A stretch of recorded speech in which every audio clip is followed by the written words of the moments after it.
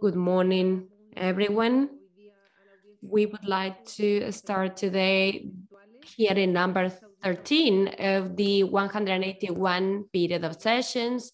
The hearing was requested by civil society organizations to address the use of um, surveillance technologies and its impact on freedom of expression in the context of the pandemic in the region.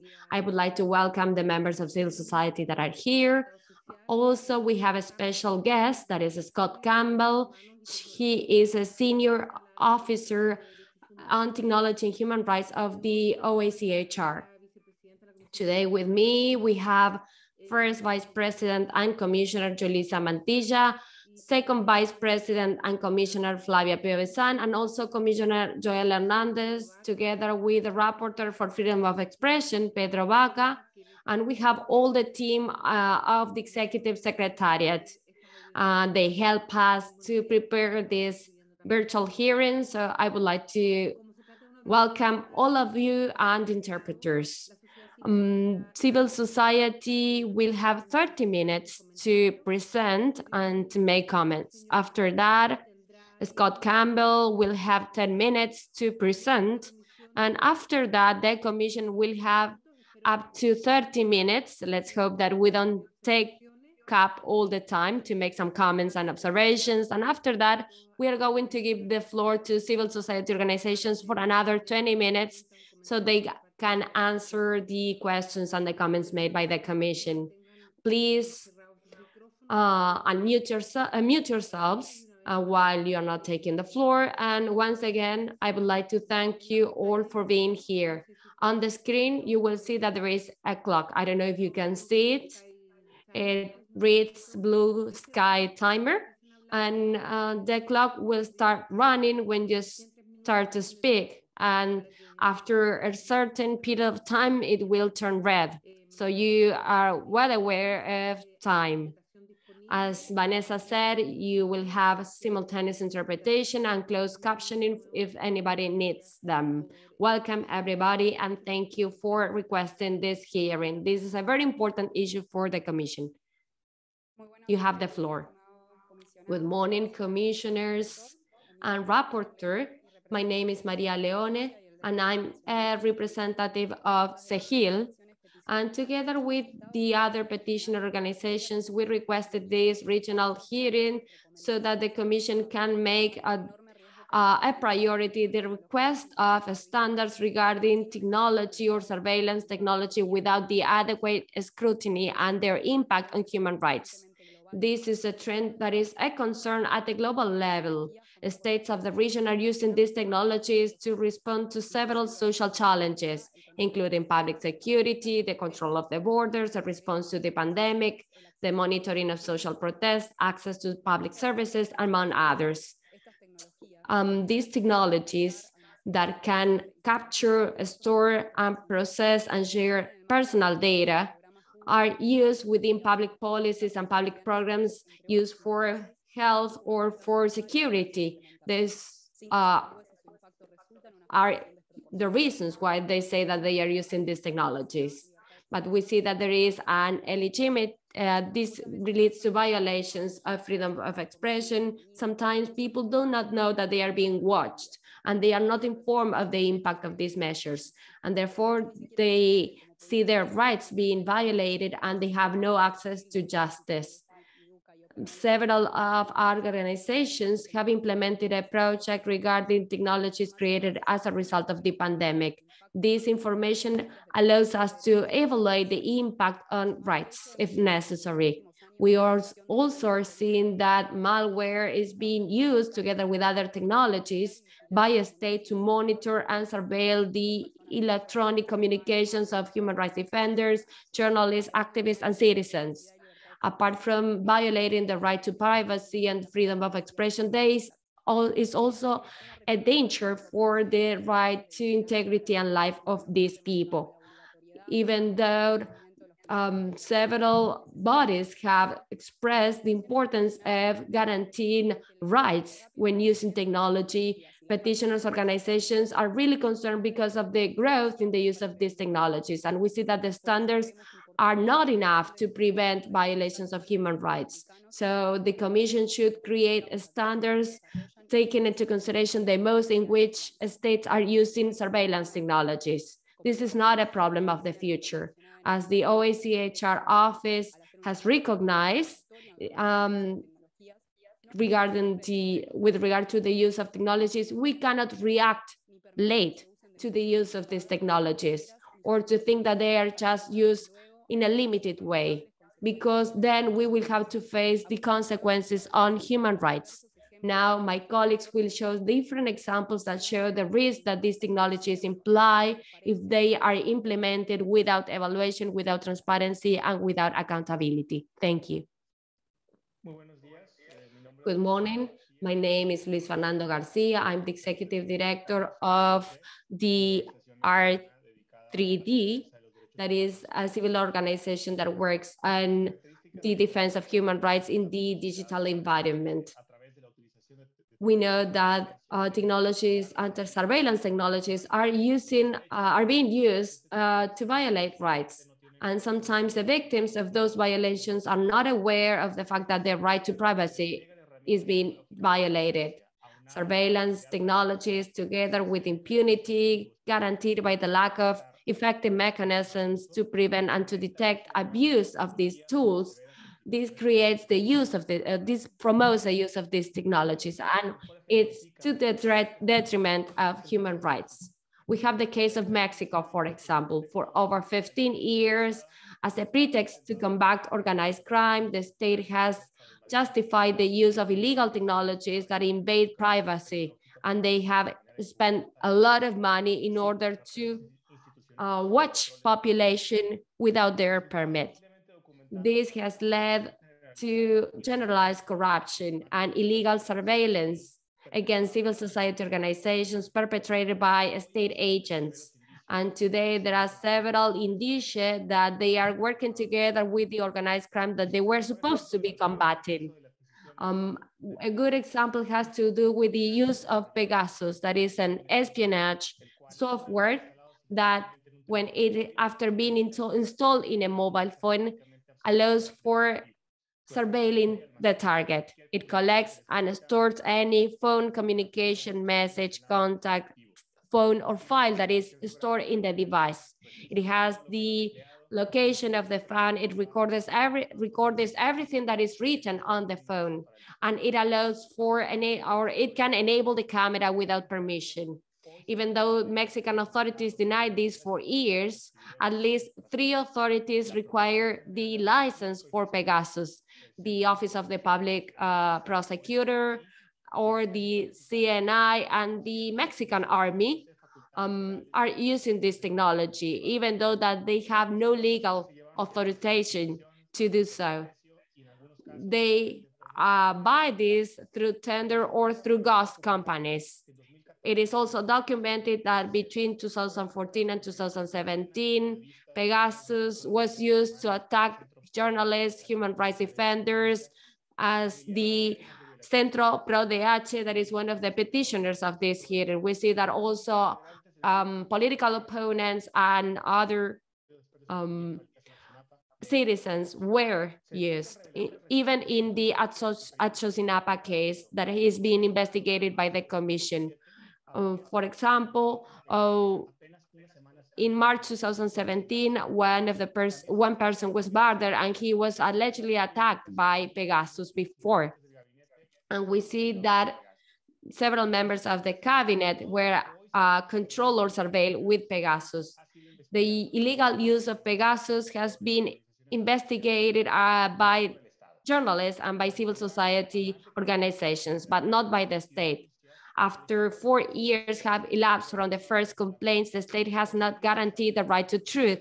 We don't know the number of victims of Pegasus in, in Mexico victims do not know the information that has been collected about them or how what is the relationship between the Mexican apparatus of surveillance and the alleged violations of human rights. We don't know the masterminds or the perpetrators of these violations.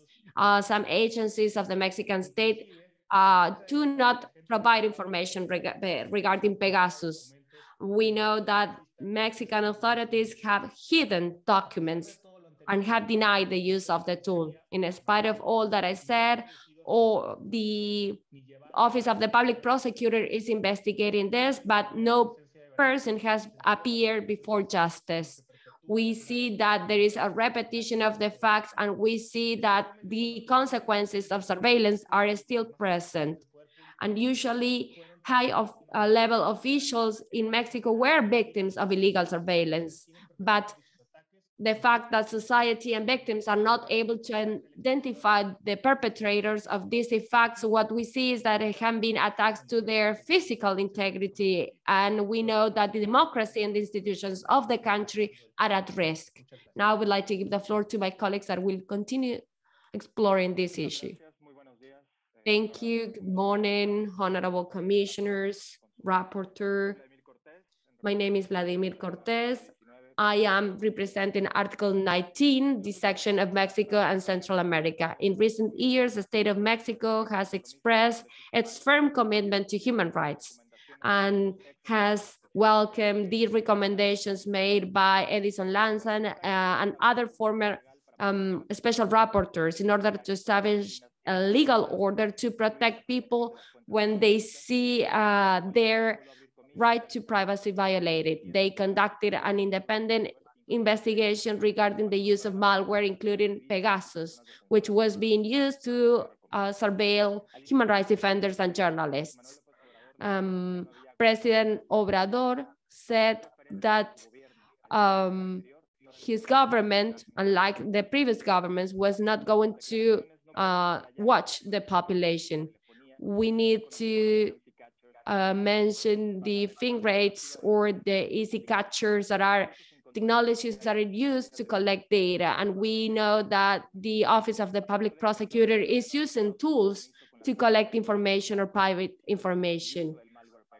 We know that the authorities have been using uh, the Pegasus software as well even though there should be some obligations in terms of transparency, in practice, those obligations are not enough and have not guaranteed transparency. The federal government has not given information regarding the use of Pegasus, which was uh, requested by uh, some of the offices, and it has not provided information regarding technical aspects and everything that has to do with the tenders and the processes of acquisition of the software. In November, the federal government presented a plan, a federal plan that is a document that shows the commitment in order to have democratic controls regarding the intervention of private communications. This is a commitment by the state of Mexico in order to adapt the regulatory frameworks regarding the use of technologies, access to preserve information. However, this process was interrupted because of changes in governmental entities and because of the lack of willingness of the Office of the Public Prosecutor. Even there are different dialogue and roundtable conversations with human rights defenders and there has been an agreement in order for these tools to continue use being used by the government. Civil society has shown its concern, and we are here to contribute to solving these issues that are very complex for democratic societies. Taking into consideration the work we do in order um, in the digital environment, we have promoted the creation of roundtables and partnerships with government agencies in order for provide them with an urgent perspective regarding how to respect human rights in the use of emerging technologies used for surveillance commissioners. We would like to call upon you to work together in order to create the safeguards that are necessary in order to prevent the um, misuse of technology. For example, it would be good to adopt measures regarding independent surveillance and the right to notify the person that is being affected. We need to stop any type of abuse in order to guarantee accountability. Without this, um, the abuse of surveillance technologies cannot be uh, stopped. And the civil society is here to collaborate with the Commission and with the state of Mexico in order to uh, stop or to guarantee the non-repetition of these surveillance acts. in order to guarantee human rights. In order, it would be good to have a national agenda to create the democratic protocols in order to protect the privacy of all citizens. If these issues are not addressed, what we see that different surveillance technologies are being created without the necessary regulations. It's also possible to say that sometimes that Pegasus use uh, has not been eradicated so far. So we know that we need to work together so that in a democratic society, the exercise of rights to freedom of expression, to privacy, and to assembly are guaranteed. Thank you. Now I would like to give the floor to my colleagues.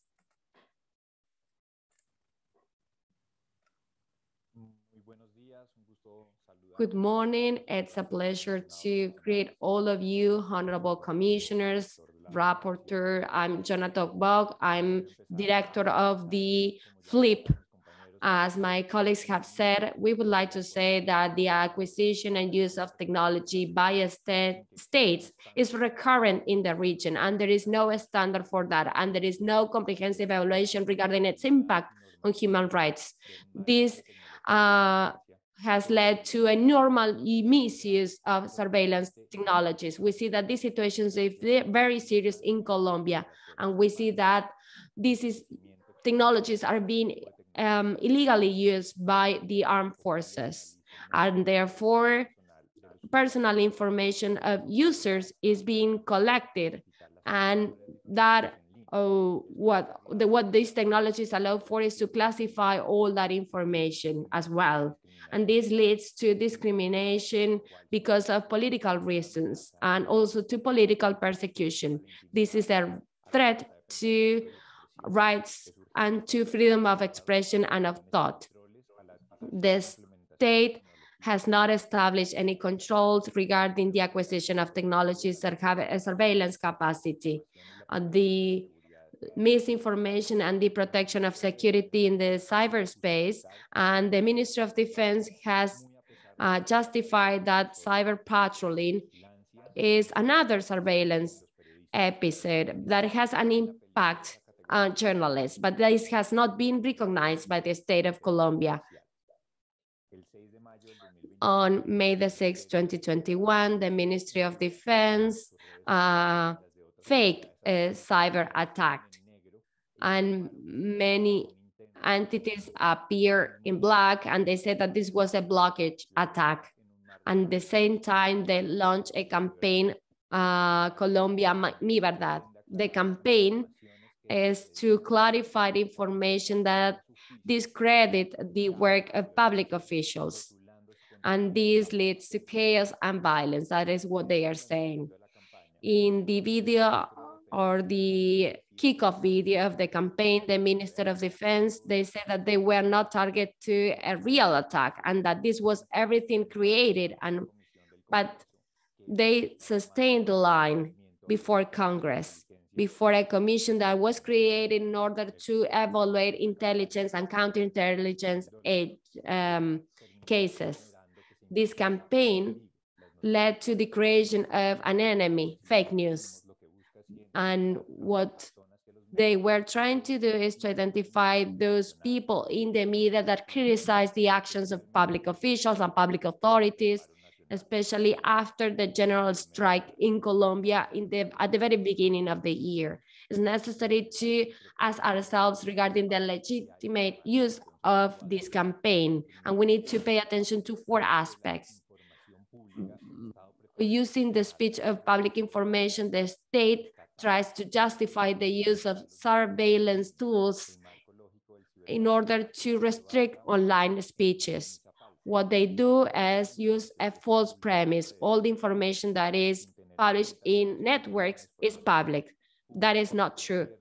And sometimes some of this information could be sensitive.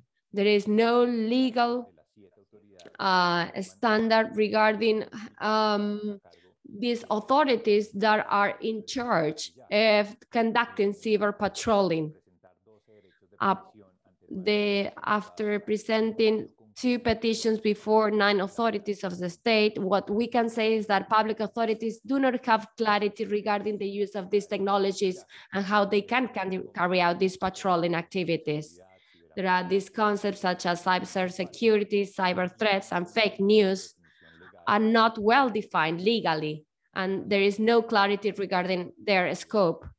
And also what we see is that there is no um, concepts and there is no clear um, structure regarding these concepts. And therefore their understanding or interpretation is subjective and ambiguous. And that is incompatible with in standards on restriction of freedom of expression or to prevent free, uh, restrictions of freedom of expression.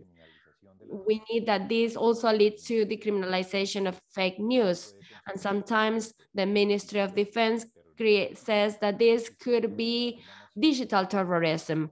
Uh, but however, the public prosecutor office says that digital terrorism is a different thing and this could risk the right to presumption of innocence of those that are being accused of committing these crimes.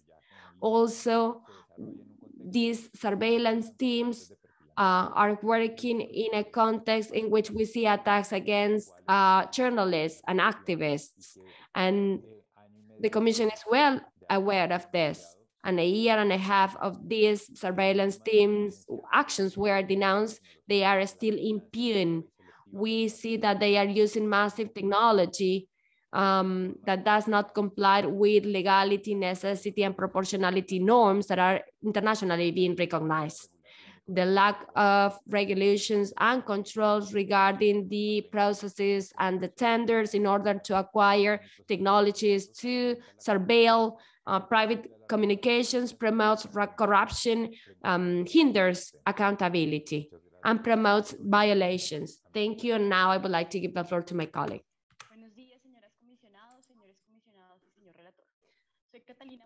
Good morning, commissioners and uh, special rapporteur. I, as it was already said, the uh, exercise of surveillance technologies and cyber patrolling in Colombia uh, we need to mention that the only mention to that uh, function has to do with an administrative act in 2015 that was assigned to the national police that um, allows identifying cyber threats against uh, citizens. This is not included in any legal uh, norm, and there are no clear parameters on its execution or mechanisms for the uh, guarantee of rights for citizens. Between uh, April and May in Colombia, a report was presented by the Ministry of Defense um, in terms of uh, public force, the monitoring of fake news, and um, military forces. Secondly, identification of uh, cybernetic effects and uh, vandalism acts that is um, able to identify people. And these also helped identify nine research processes. I will focus on cyber patrolling and profiling in social media. About this, the commission mentioned that profiling people in social media as vandals and digital criminals. The Colombian state uh, stigmatizes and criminalizes, and by acquiring massive um, capacities. Besides this, um, at the beginning of 2020, uh, journalist investigations uh, disclosed secret folders and against defenders of human rights. This was constituted based on uh, open source uh, technologies and intimidation. We um, also discovered that they hired uh, technologies to conduct monitoring of different interactions in on the internet among the uh, contractors, that company that supported the army in this uh, folders issue was used. The, this is sensitive information and it goes beyond the description of the software. Uh, talks about uh, chasing after people through different digital channels, including social media, messenger systems, and other automized systems. There are other mechanisms for the public force to be in a different media, spying people, and even cross-referencing referencing information with open sources. This is worrying for human rights, and we need to have a discussion in terms of its legality, um, surveillance tool without controls by the state. This doesn't meet the fundamental rights of democratic uh, societies, and um, this needs to be um, regarded. Massive tools the Colombian state is acquiring um, brings the whole country to um, a violation of uh, intimacy and the right of protest and expression. The framework that needs to regulate this also needs to be examined. The state needs to guarantee access of internet to all people, but also the commissions not to intimidate, stigmatize, or uh, violate those who use the networks. What happened in Colombia is that digital political participation, the Colombian state uh, again reiterated its behavior of stigmatizing, criminalizing, and chasing after the the digital um, environment. We also need to add the surveillance that is something that the state is uh, facilitating. I give the floor to my colleague. Good morning, commissioners and special rapporteur. I'm Maria Paz Canales. I represent Derechos Digitales, an organization that uh, works in Latin America. Uh, following the comments of my uh, colleagues, there's advanced technologies for um, the um, invasion of spaces of all uh, citizens. These are is conducted by private companies that use uh, surveillance technologies in the world. These technologies are deployed by an administrative way and without a democratic um, insurance, but they also bring consequences. These laws have been left behind, faced the advancement of technologies, and we request this commission to uh, discuss this and advance the use of these uh, technologies. What do we mean by surveillance technologies and the applicable rules? We've heard from our colleagues, but I want to uh, present a summary for the Commission to have a complete idea of what we mean. First, different uh, intelligence means to surveil and watch activists and human rights defenders without an updated uh, norms by the use of uh, intelligence surveillance softwares, patrolling as they uh, have exposed about Colombia and Mexico, then different uh, intersection communications tools that are used by applying outdated uh, legislation. Third, um, data retention by internet providers that are used by government agencies. Fourth, the massive deployment of surveillance in public spaces.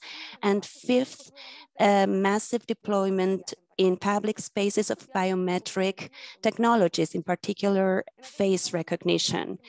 In addition to my previous colleagues' comments, I would like to focus on facial recognition technologies. This is a biometric technology that by means of the analysis of certain facial traits um, identifies a person. It requires three elements, a means to capture images, uh, image analysis, and a database to run a comparison. The precision of the system will depend on the data available and the way in which algorithms have been trained to conduct those associations.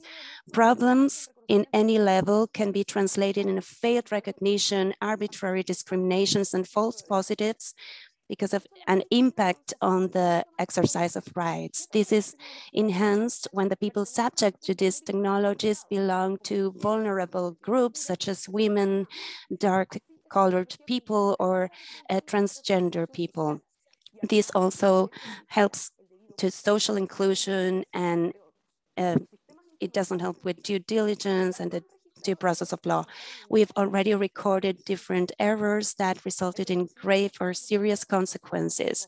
Facial recognitions doesn't allow us to control our own faces and it's something that it's not able to being replaced if control is lost. Constant surveillance also promotes silencing and self-censorship. As the um, OHCHR and the Special Rapporteurship have recognized when surveillance of public spaces is used, facial recognitions erodes people's autonomies in favor of a system that looks for an absolute control. Uh, recent uh, research has identified 38 different facial recognition tools in the region since 2018, and it's a non-exhaustive investigation. 30 of these tools have been used for public use, 10 con um, control uh, different rights, and six of these tools have to do with the access of political and civil rights, such as the access to identification by the citizenship. More than 60% of cases don't have legal grounds that support the implementation of these technologies. And when there are norms, these are interpreted loosely by the uh, state agencies. The civil society organizations have resorted to justice to um, obtain more information on this. We found uh, legal examples in Argentina, Paraguay, Brazil, and Peru, some other cases in Bolivia, Chile, and Ecuador that are not uh, brought to the courts are presented as an example. Thank you. Now I give the floor to my colleague for the closing of our petition. Thank you. Thank you. Um, based on everything we've exposed, the petitioner organizations request first for the Commission to adhere with a public announcement to the request uh, regarding the prohibition of technologies that are not able to operate without uh, the appropriate standards and to request the use of uh, other technologies until other uh, safeguards are guaranteed. Two, to call upon states that the use of these surveillance technologies be adjusted to the respect of human rights and that any interference be included by law that um, uh, respects a legitimate goal. Three, that states are called upon to implement due diligence processes to those who deploy, develop, sell, exploit these surveillance technologies. A key element of due diligence must be the periodic uh, evaluation of the impact on human rights. Fourth, for a regional uh, process for consultation to be started guiding the processes for acquisition and use of surveillance technologies based on transparency, legality, need and proportionality uh, principles that should be used by any tool for intelligence, police forces, or any public um, policies that regardless of the technologies used. Fifth, in regards to Mexico, that the state is uh, exhorted to make the hiring process transparent, to carry out a diligent uh, investigation, and to also carry out the necessary reforms to establish the control of the surveillance technologies in Mexico and offer technical assistance to the Mexican government. And lastly, regarding Colombia, for the state to be exhorted to uh, use uh, open source technologies, uh, fake contents, and the assignation of stigmatizing uh, qualifications to those who express themselves via the internet. Thank you. Thank you for, thank you very much, civil society organizations. Now I will give the floor to Mr. Scott Campbell from the Office of the UNHCR for 10 minutes. You have the floor.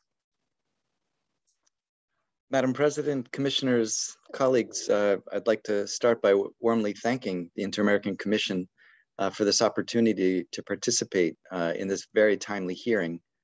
Uh, the impact of the surveillance industry on the right to freedom of expression is a pressing concern, and I think even more so as the COVID-19 pandemic has increased society's dependence on digital tools for so many aspects of our lives.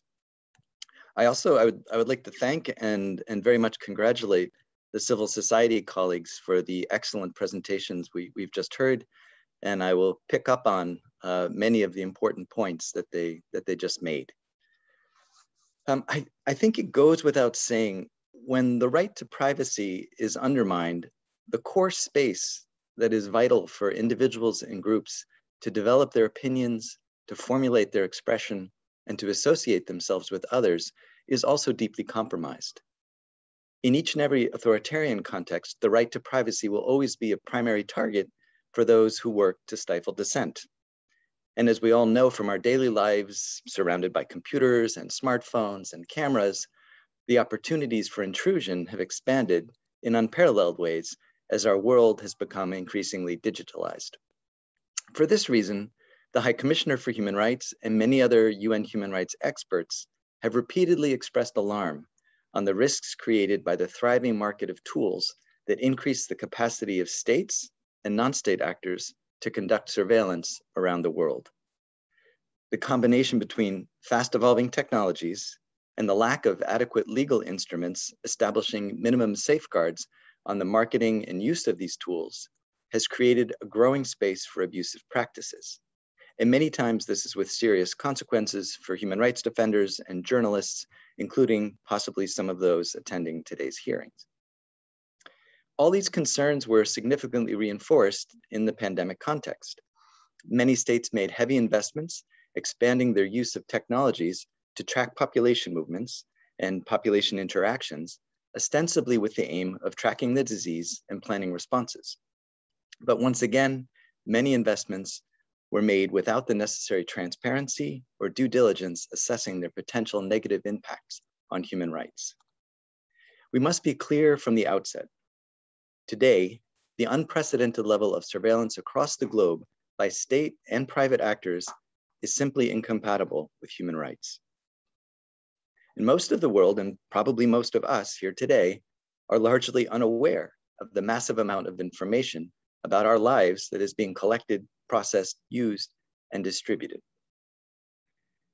Thanks to the relentless work of academics, journalists, civil society actors, human rights defenders, many in this room, again, in this virtual room, our understanding of the pervasiveness of surveillance and its impact has expanded greatly just over the past few years. For our discussion today, and picking up on some of the important points made by our civil society colleagues, I'd like to underline the impact of two commonly marketed tools, malware and facial recognition technologies.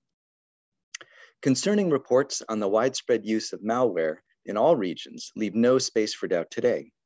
Tools marketed allegedly for responding to complex security threats are also regularly, regularly becoming weapons for intimidation, turning the phones of activists and journalists into real-time spying devices, and thanks in part to the complete opacity that accompanies the marketing and use of the malware. And many in this region were unfortunately not surprised by the latest revelations documenting the use of the Pegasus spyware commercialized by the NSO group in over 45 countries. Mexican organizations present in this hearing had raised the alarm on the use of Pegasus against journalists and defenders more than five years ago. The latest leaks only corroborated these concerns, indicating that around 15,000 Mexicans, including judges and authorities, were also targeted. Malware abuses, uh, malware abuses are becoming increasingly frequent. In the days before the revelation on Pegasus, another report documented the impact of Candiru, a different spyware also purchased and used against civil society actors around the world. Similar security concerns are also fueling the purchase and rapid deployment of biometric recognition technology by law enforcement and national security agencies in all regions of the world. And once again, there's wide scope for abuse with strong chilling effects. In two recent reports, our High Commissioner for Human Rights voiced concerns on the use of facial recognition and other biometric surveillance tools. Among other aspects, she has highlighted that people feel discouraged from demonstrating in public places and freely expressing their views when they fear they could be identified and suffer negative consequences. The dramatic increase in the ability of state authorities to systematically identify and track individuals remotely can in fact fully undermine privacy, affecting the exercise of the rights to freedom of expression, of peaceful assembly, and of association, as well as the freedom of movement. And in addition to intimidation, concerns also exist on the erroneous identification of individuals and the reinforcement of discrimination patterns through the profiling of marginalized communities. So what steps can we take to avoid the escalation of these risks? The United Nations, through its human rights mechanisms and the Office of the High Commissioner, have already provided some very concrete immediate and longer term steps uh, that we can take and that may be useful in guiding our debates. First, the High Commissioner has called for a, a moratorium on the sale and use of artificial intelligence systems that pose a serious risk to human rights until adequate safeguards are put in place. Second, we need better regulatory instruments. Pausing the rapid dissemination of surveillance tools should give space for states, for states to work on export, on export control regimes. It should also give them space to boost legal frameworks that can secure privacy. Thirdly, laws and policies must ensure human rights due diligence is systematically implemented. Identifying, preventing, and mitigating risks arising from the introduction of new technologies, particularly the specific risks for marginalized communities, is critical to avoid abuses. And finally, there must be accountability for identified abuses.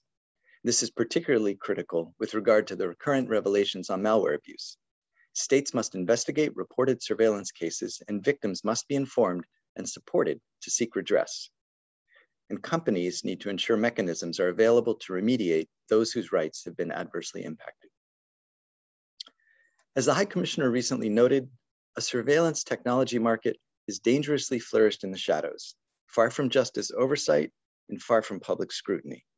And this has been both in authoritarian countries as well as in democracies. It's now urgent to shed light on the surveillance market and rein it in, rein it in with robust regulation protecting the right to privacy. Vague justifications on pressing security concerns cannot be used to empower authorities to disproportionately suppress fundamental freedoms. Similarly, a careful screening is necessary for all tra tracking efforts that were promoted in the context of the pandemic. Special measures weakening privacy protection on the grounds of the public health emergency of the pandemic should also be reviewed and reversed unless there are well-established justifications. As we can clearly see with a long list of cases of journalists and activists targeted by malware attacks, the costs of an unregulated and widespread use of surveillance tools are clearly too high a price for our democracies to pay. Madam President, commissioners, colleagues, I thank you. Muchísimas gracias, señor Campbell, también por su. Thank you, Mr. Campbell, for your presentation. And again, I would like to thank civil society organizations who presented the different issues related to the theme of this hearing and regarding the situation in the different countries of the region. I would like to give the floor to my colleagues. I don't know if they have any questions or comments to make. I don't know if First Vice President Commissioner Mantilla would like to take the floor. Thank you, Madam President. Good morning to all. I would like to greet my colleagues. And I would like first to thank all of you for being here, but also for the critical work that you are doing to follow up on this theme that is so important, so complex, and so uh, current. I would like also to thank the um, rapporteur for freedom of expression that is monitoring the situation that has is so important for human rights. Um, I wanted to ask some questions, but first I would like to stress some uh, or to work on some items. First, um, I would like to know if there is any chance to establish a pattern, uh, everything that has to do with tenders and acquisition processes, for example, in the situation of Mexico, and I would like to know if, apart from uh, direct acquisitions, if you have identified cases of corruptions and cases of lack of transparency. And the other issue that was reiterated, it has to do with the use of surveillance technologies by the armed forces. So In this regard, I would like to know uh, if there is a pattern that you can you, that you have established. And second, I would like to know if apart from legal actions being uh, initiated, I would like to know if there are any remedies at the level of institutions or legal institutions or instances in your countries. Uh, I would know would like to know if you have any information regarding uh, the creation of cyber police. Uh, I don't know if there is a department or a division in each of the police uh, agencies or army agencies to investigate this. Also, I would like to identify the groups that are being targeted. We have journalists, we have political opponents, and I would like to know the specific situation of human rights defenders. And especially I would like to know about the situation of women and feminist organizations and why not? Uh, I would like to know if there are any cases of UN officials or OAS officials that are being targeted. Uh, have you identified any of these situations? Um, that's are my comments and I would like to reiterate my uh, uh, gratitude for the work that you are doing, that is so important for the Commission. Thank you, Commissioner Mantilla. Commissioner Piovesan, you have the floor now. Thank you, Madam President. I would like to start my presentation by greeting kindly all of you. And I would like to express my profound gratitude and my recognition for this dialogue and for this space. I would like to praise the initiative of the Special Rapporteurship for Freedom of Expression in order to summon all these people with so much expertise to promote this dialogue together with the UN uh, with regard to a topic or issue that it's very important for society is an emerging issue. I agree with uh, my colleagues that said that this issue is worsened by the pandemic, by our digital lives. It's an innovative and complex issue, as the first vice president was saying. We know that the use of technology presents opportunities, but also risks and threats. I also would like to greet and to recognize the extraordinary work of the Special Rapporteurship for Freedom of Expression, who promoted, who has been promoting this dialogue on digital rights. I think that this is a key issue because we see an impact on the right to privacy, and the right to freedom of expression and individual rights. I have three questions for you. The first has to do with facial recognition and profiling. I would like to know if there is a regional and global context of the use of technology of surveillance that is being used in an abusive or authoritarian way without transparency, without control, without accountability, uh, without any analysis regarding the impact of human rights. I was able to understand that the dissident voices uh, are being targeted, especially I understand that the main targets are activists, human rights defenders, journalists. So we know that there is an attempt to um, suppress any criticism. But I think it would be very important to have more information on differentiated approaches regarding the excess of cyber surveillance and this abuse of technology. I would like to know if we have specific information about these people that are being targeted, especially with regard to those marginalized or vulnerable groups. I'm the special rapporteur for uh, LGBTI persons, and I know that there are some vulnerable groups such as Afro-descendants, women, and I would like to know uh, who are those that are being targeted and that belong to these marginalized groups. Second, um, I would like to say that the commission is monitoring the situation in Mexico and Colombia, but I would like to know if there is any legal files uh, sometimes, because I would like to know if these cases have uh, been dealt with by the justice systems. Uh, I would like to know that we have some jurisprudence, but I think that we should be able to have more information regarding litigation and especially in the area of accountability, especially by the legal systems at domestic level. I would like to know the actions that they have taken. And I also would like to praise the initiative to call upon the commission so that we take measures. This is a very important space because we are here having a constructive dialogue with civil society organizations and with the UN, all with a lot of expertise in the matter. And I hear that right now there is no adequate legal framework or regulatory framework for this. But in order to have input, in order to develop the necessary inter-American standards, I would like to know if there are any best practices in terms of regulatory frameworks or norms at a global level. I don't know if there are any European guidelines uh, taking into consideration the 200 countries that we have around the world, do you have identified any best practices that could help this exercise of the Commission so that we can draft the necessary standards? That would be a good step, a good starting point. We can work together in order to develop these standards uh, that will help uh, develop national practices and I think that we need to work together also with the global system, the UN system.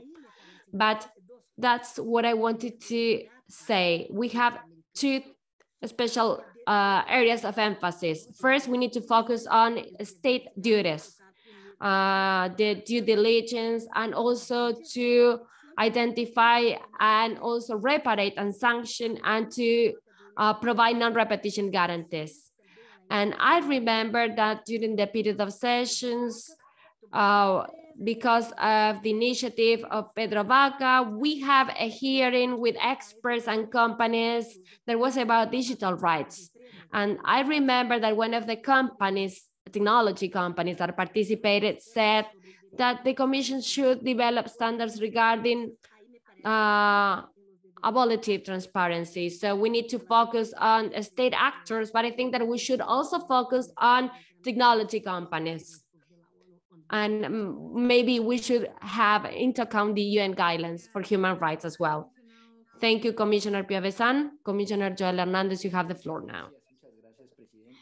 Thank you, Madam President. I would like to second this recognition to civil society organizations for bringing this up that is so important. I would like to thank also Scott Campbell for also contributing uh, to the table by uh, sharing with us the pronouncements made by the High Commissioner. Um, I would like to thank him for these pronouncements. Um, nobody could ignore what is happening. We live in MERS in technology and we are all exposed to this uh, interference in our privacy. And we are also able to recognize the impact on human rights. This has been mentioned also by my colleagues, Commissioner Piovesan and Commissioner Mantilla. Now in this digital world, we are working on platforms that are insecure. There have been some questionings regarding the platform that we are using right now. And this will go on, on and will be a challenge in the future as well. The world now is digital because of the pandemic, and it will continue uh, being digital in the future. And also this issue is related to one of my responsibilities in the commission. I'm in charge of the rapporteurship for human rights defenders and what you have presented with uh, by quoting different national cases is the violation of the right to integrity and to security of human rights defenders and journalists. We are very concerned that human rights defenders are being targeted by profiling and by surveillance technologies. Once again, this is brought to our attention. Uh, the GIEI and the Ayotzinapa mechanism members are being targeted. That's a huge concern that we have. Um, what Commissioner Pia is saying is very important. After your interventions, she is asking about uh, the legal proceedings at a domestic level. And this is not about the clarification of truth only, but we also should be prepared as commissioners to see that some of these cases eventually in the near future, uh, some of these cases may reach the commission in its supplementary role. And the commission should be very clear about that. We need to identify the standards that we are going to apply. So this hearing is very timely for the commission. And I'm sure that the special rapporteur, Pedro Vaca, uh, that has started to work on this matter, I know that he will be helped a lot in order for the commission to be able to develop these standards so that the commission is able to resolve in these matters. Until the time comes, I would like to highlight what Mr. Campbell said.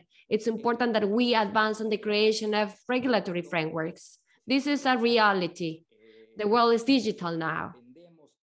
We depend on a tablet, on a smartphone in order to work every day, whether it's or uh, for our personal activities. And we need to be realistic. These legal or illegal interferences will continue to occur. And that's why it's so urgent that we develop regulatory frameworks at a domestic level, but also international standards. I think that this is a second role that the Commission needs to play, and that is to help states develop these regulatory frameworks um, in order uh, to regulate this uh, type of technologies. That's all for me, Madam President, and thank you for this opportunity. Thank you, Commissioner Hernandez. Now I would like to give the floor to the Special Rapporteur for Freedom of Expression, Pedro Vaca. Thank you, Madam President. I would like to greet the commissioners and also Scott Campbell from the United Nations and also the organizations who are here today. I think that this is a very important conversation. And I think that we need to see this not as an issue for of the future, because this is a current issue. Um, it has to do with uh, the impact of human rights. And this is something that we think that is going to happen in the future, but it's happening right now. Uh, after all the information that we have received, I would like to say something. We have dedicated most of our time to analog violations of human rights, let's say. But the information that the organizations have provided us with uh, allows us to see that we are seeing that technology can accelerate human rights violations in the analog world.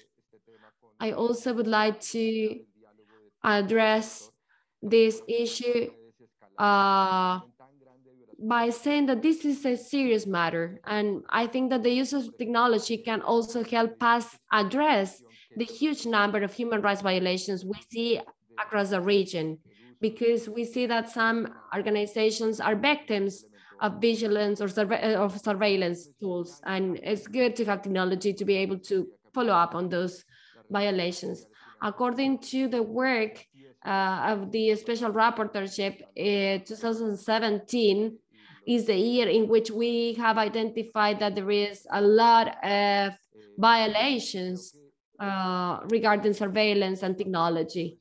There are several uh, themes that were mentioned that have to do with access to public information and transparency are related to the deployment of surveillance technology, the importance of uh, balance or democracy, democratic systems, also the impact human rights and all these chain of uh, buyers and marketers and that includes uh, software companies and the impact that they may have and also we need to focus on the users we know that the playing field is not equal. And we know that those people who are most vulnerable or more marginalized are the ones that suffer the most. Uh, their data are being used massively. But I think that uh, we need to promote the use of tools in order to promote the guarantee of human rights and not the violation of human rights. And I think that the information that we have received is alarming because technology is right now facilitating human rights violations, is accelerating them, and that's a huge concern. Regarding some of the aspects uh, regarding the hearing, in August this year, uh, the special rapporteurship uh, also um, had uh, or expressed its views regarding the use of technologies at a public level and the safeguards that should be present. And we have uh, supported the Commission with some working visits, and our stance uh, had to do with uh, official targeting or labeling, especially when there are police uh, authorities or the army that consider some content is fake news. We see that the use of state agents of technology uh, could be a concern and several organizations have discussed this during the hearing and I would like to say something else. If you have any information available that you are not going to be able to share today with us, please send that information in written. Taking into consideration that some years have elapsed uh, since 2017, and at the time we started to talk about the impact on the right to privacy because of these massive surveillance technologies, I think that there is still a lack of connection between suppliers and states. They don't do not consider that this is a human rights matter. I think that the stance of suppliers and the states when we talk that this is a problem to public security and, and this could promote crime. But what do you think about the reactions uh, of states and of suppliers or companies. This has to do with the design and with the marketing and of these software tools that are considered uh, surveillance tools. Uh, what is their position? What do you see? And second, I would like to know if you have any information regarding the use of face, facial recognition technologies and biometric use technologies here. And if if you do not have information about this region, maybe you have information regarding the use of these two technologies in other regions of the world. That is important because the commission is needs to develop the standards and we know that we don't have much information about that. And I would like to conclude uh, talking about the uh, system. We have the judicial power, we have the legislative power, and we have the human rights bodies. And I would like to know if these um, branches of government are addressing this matter and what are the answers or the replies that we are receiving at the domestic level. For many years, they we know that there are some organizations that are trying to provide, uh, or that there are some governments that are trying to provide tools so that the judiciary is prepared. So it would be good to know how prepared domestic uh, bodies are for this situation. Thank you, Madam President. I'm, I'm at the disposal of the Commission. Okay, so I will share the questions and then I would like to go back to something that Pedro mentioned and it has to do with providers and states. In this question uh, as to whether they've uh, accepted that this is a human rights issue, it's very important that in this sort of dialogue we can involve companies and states to uh, come up with these standards that we've mentioned throughout our hearing. I think this is a challenge for us. And from this perspective, we need to consider all this and uh, information as to good practices that you have from self-regulation, uh, rules, um, um, responsibility and accounting, it's important that we work on these things, recognizes some initiatives that consider these as a human rights issue. So I uh, go back to what Pedro pointed out and also what Commissioner Piovesan mentioned too. Now I will give the floor for 20 minutes to you so you can uh, attend all these issues.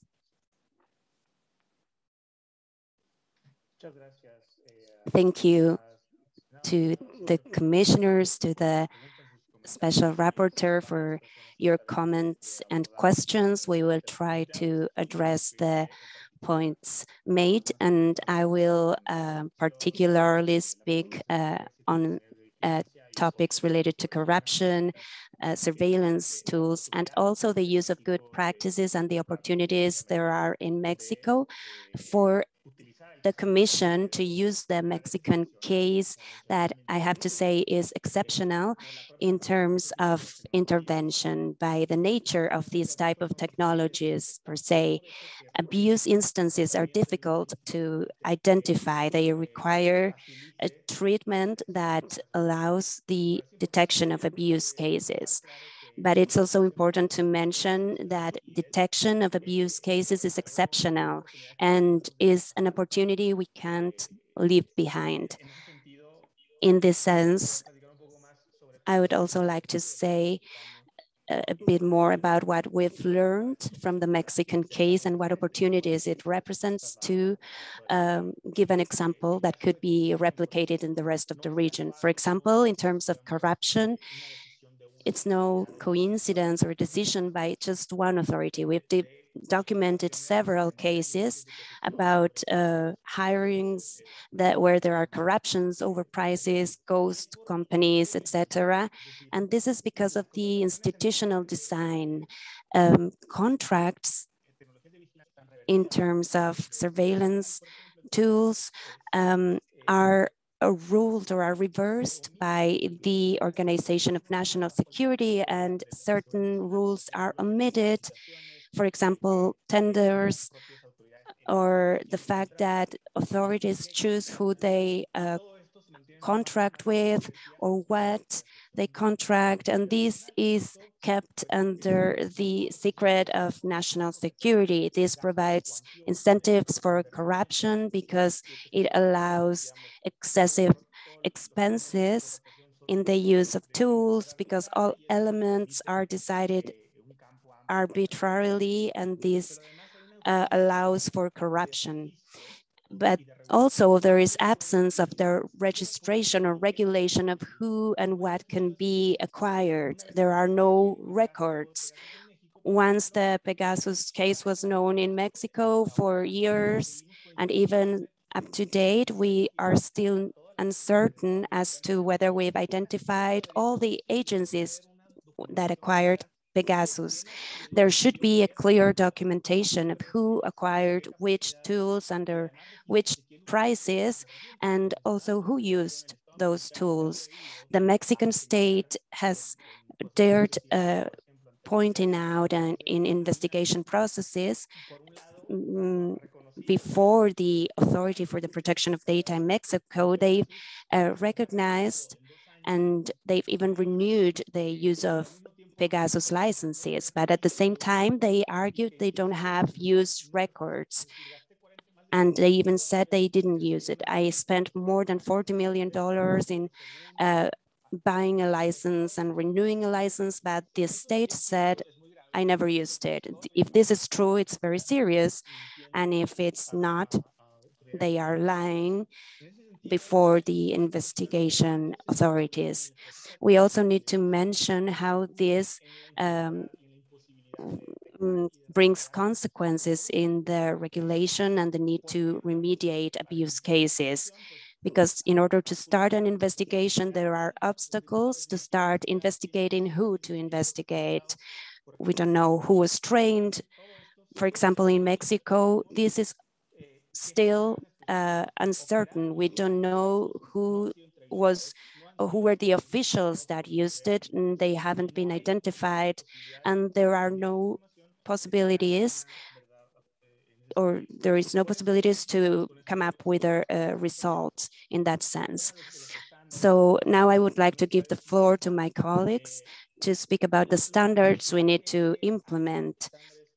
It is paramount that we have uh, standards that ensure that the use of these technologies can't be kept under secrecy. Uh, accountability needs to be present faced with independent authorities. And it is worth mentioning, for example, the fact that in Mexico, the investigations have authorities that are arguing the national security exception that is typically made by the access to information by the public. For example, the public prosecutor officer or other uh, authorities have been denied information stating they are not able to disclose such information because of national security issues. So this is also very uh, problematic. And in this sense, there's a series of standards that we've uh, shared with the Commission. And we also need to uh, underline the need we have in the Mexican case.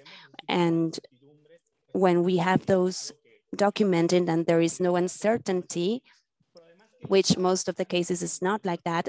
And also we need to consider that the Mexican state three years ago had publicly said that they commit to implement this type of reforms and not to fall into the same practices despite the fact that the government has said that they want to implement and they have there's a political commitment to establish these standards this hasn't occurred in practice. And we consider that the commission has a historical opportunity to lead a dialogue that could lead to the implementation of this type of measures at a regional level. And we expect and we hope that the commission decides to implement it and the civil society will always be uh, willing to collaborate and help. I give the floor to my colleagues. Thank you, Luis Fernando. I would like to mention three aspects. Uh, also, um, going back to the questions that have been asked, I would like to say that in the past three years in Colombia, there have been three events that show the access to technology and the use of technology by the government. The first has to do with in the uh, armed forces, in the army, there was a unit in charge of monitoring and profiling hundreds of human rights defenders, among them more than 50 journalists, international and national. Second, a year ago, we knew that the president Ivan Duque had hired a company to categorize uh, social network users in positive, negative, or neutral in terms of the comments they made on the social media. And third, the technologies are used to categorize based on the political comments or the expressions made by different users. And third, actually, uh, it, this is what I was mentioning during my presentation. It has to do with how uh, a campaign is being launched to categorize fake information attacking uh, public institutions. If we take all the common patterns from these three facts, and it would be naive to consider this as, as isolated cases, the fact that um, param bringing parameters to all these in terms of the contexts that are being known. Uh, what is the reaction that we can have? It looks like that uh, movie um, where the character already knows what's going to happen to him every day. An impunity a road where no investigations will be carried out and we will not be able to advance because we need more independence to investigate state agents and recognize the state's responsibility because in all three cases that I'm mentioning, responsibility has been on those agents who need to be under investigation. I think this reinforces, um, as my colleagues have mentioned, the need that the Commission can uh, accompany these processes because otherwise these uh, opens the road for impunity, which is very well known in the region and in Colombia. And finally, I would like to say that if we look at the set of actions that were carried out in Colombia, we see that the intention is to install this hatred towards institutions, and this will bring retaliations from the state and institutions. And I think this is similar to um, discretionality. We've seen this in Venezuela, we are seeing it in Nicaragua too, reflected in different laws and positions that look to criminalize and go after expressions that could um, affect institutions or are understood to affect institutions and stability from the state. Thank you.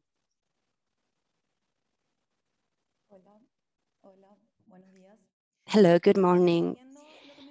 So also, following what Mr. Campbell said, the pandemic has brought us to an increase in the use of uh, technology tools. And in the civil society, we've identified that the scrutiny is also lower because they are presented as needed to respond to a health or public health issue. We will also bring some other arguments after the hearing, but I would like to specifically say that the whole process for acquiring and implementing technologies lacks transparency and the necessary safeguards that can guarantee that no human rights are violated because they've been implemented very rapidly without a proper investigation and without supervision mechanisms. Something else is uh, accountability and uh, access to justice. This is seen in the lack of transparency and the treatment of the data collected. We've also identified a practice of dilating mechanisms such as uh, redirecting to other institutions, non-compliance with legal terms, extensions, and non-delivery of documents. These uh, brought different uh, complaints. This uh, also generates a burden, costs that could not always be afforded by uh, citizens. Surveillance is deepened in this content, and this is why we need for the Commission to develop standards that could allow for a process for safeguards and transparency and due diligence in the diligence in the processes. Thank you. Thank you. Now picking up on a few of the concerns that were left uh, from the questions uh, put by the commissioners, I would like to speak about the uh, judicial cases, uh, case law, the different focuses that um, Commissioner Piovesan asked, and the good practices, that's something that also some commissioners mentioned regarding differentiated uh, approaches, there's evidence as to the impacts that the use of these technologies have, particularly those that use uh, biometric recognition tools and others or facial recognition. This is why during my first presentation, I emphasized on the fact that we are not facing the impact of civil and political rights, where there's more development and more clarity, for the exercise of these uh, political and civil rights, there are uh, direct impacts on the right to movement and assembly, but there are other deep rights that are being uh, impacted in terms of the exercise of economic, social, and cultural rights. This is uh, emphasized with the pandemic, as Paloma was saying. In this context, the use of biometric tools has increased to control population. Uh, we have some studies published that we will attach as part of the uh, background information to this hearing. They show how the use of biometric recognition bring um, further impacts in vulnerable groups such as women or transgender people. The Karisma Foundation has also um, presented a report on the use of these technologies and how um, this can bring suspicion in the delivery of social benefits. And this has to do with uh, fraud and the use of the state of this that could uh, harm or bring discriminatory practices for vulnerable groups. Therefore, we see there are different um, elements. In the case of LGBTQ people, this has also been a concern mentioned by uh, Commissioner Piovesan. In Venezuela, we have a case in 2014, they've started implemented different biometric tools. And uh, in terms of case law and jurisprudence and what uh, actions have develop, been developed as an annex to this. We are going to attach a series of resources that are summarized that contain the links so you can also go deeper in the specific cases. What we see here is that there are no specific uh, resources for the claim of these type of uh, rights violations. They've uh, presented claims or complaints for the inconstitutionality, uh, administrative programs that have been questioned in terms of their compatibility with constitutional uh, mechanisms, and also the obligatory frameworks that need to be presented. The access to public information and transparency processes have also been mentioned to um, bring transparency to the acquisition and tenders. But they, this has encountered different barriers because there is no design and um, we don't have the necessary tools to understand the operation of this technology and understand the theory of the harm that's behind these cases. And this sometimes has failures because of the uh, reference of the state as the actor in charge of providing services. And there is a lack of supporting mechanisms that could define what is the proportionality that needs to be evaluated. And finally, the additional resources we will provide have to do with the good practices that are being conducted since 2000 Eh, 18, eh, Derechos Digitales has mapped what regulations are in place. These studies need to be permanently updated. We will present it as a list of resources, but we've evolved a lot in some countries. In my first presentation, I referred to five categories, and I would ask you to go back to that. We will present all the materials but regarding each of those technologies, we've had different regulatory developments and evolutions. And the last thing I want to mention is the call for moratoriums in the use of these technologies. These mechanisms need to be more specific and be aligned with uh, human rights protection uh, mechanisms. It, it is not cutting and pasting. What we recommend cutting and pasting is the call for the moratorium until the Commission has time to pronounce and define the standard for our region.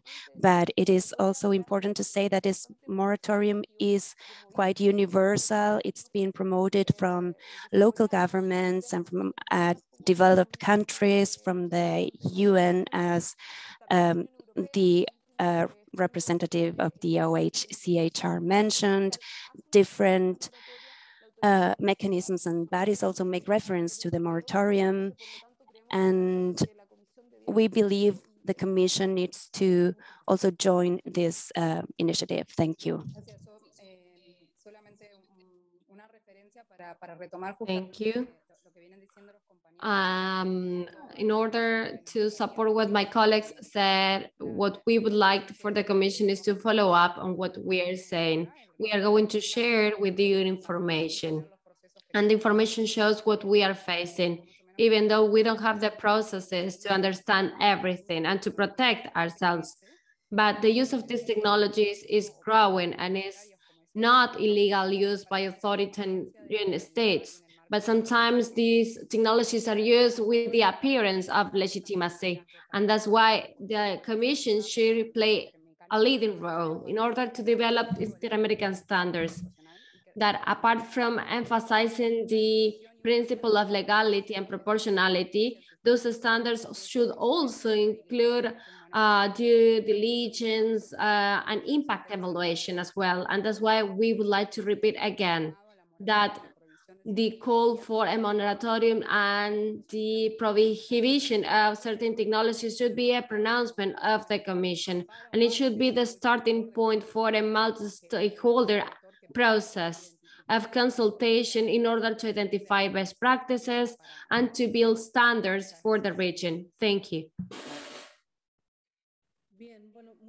Okay, thank you, all of you not only for uh, bringing attention to this issue, but also for all the information that you are sharing with us. Uh, for the commissioners, this hearing is very important. Unfortunately, uh, taking into consideration the Inter-American systems perspective, those are new issues, and it's great to have information from you that are experts in this issue. We are uh, taking note of all the things that you are saying. The Commission is starting to prepare its next strategic plan for its uh, coming years, and this will include public consultations. And please, your contribution will be very important because this matter and this issue is already here and is here to stay. And this is going to be a transversal issue and will include uh, the impact on different human rights and your uh, perspective will be very important when we discuss the development of this, uh, of the creation of the next strategic plan. And before closing, I would like to give the floor to Pedro Vaca so that he can comment on the actions that the special rapporteurship is taking um, because many of the things that you were requesting are being dealt by the dealt with by the special rapporteurship. Thank you, Madam President. I would like to say thank you not only to the organizations that are here, but it's also important to say that the Special Rapporteurship is promoting an inter-American dialogue on freedom of expression and internet. What we see is a deterioration of the public debate, also the deficit of digital literacy that is fundamental for this hearing, and also to improve the playing field in terms of the knowledge uh, that the users have regarding these technologies and also content moderation on the internet. This is a dialogue that will last eight weeks. And after that, the special rapporteurship will create a working group in order to draft the recommendations. And we are going to present these uh, recommendations before the commission. Uh, in terms of the request regarding surveillance technologies, I would like to close my presentation uh, with a reflection. Right now, we cannot determine the number of victims and the number of violations of human rights. And this shows that we have a huge challenge again.